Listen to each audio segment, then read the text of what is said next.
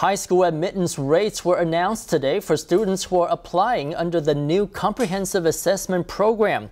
The education minister was pleased to say that nearly two thirds of the students were admitted to their first choice of schools.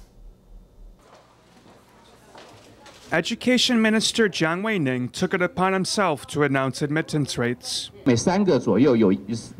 Approximately two out of every three students were able to use this first phase method to enroll in the school of their choice.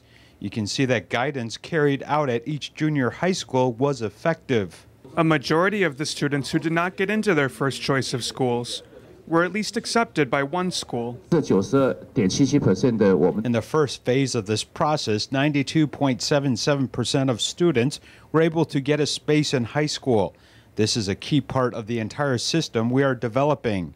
Students dissatisfied with their assessment results or the school they were admitted to can apply to specialized programs next month.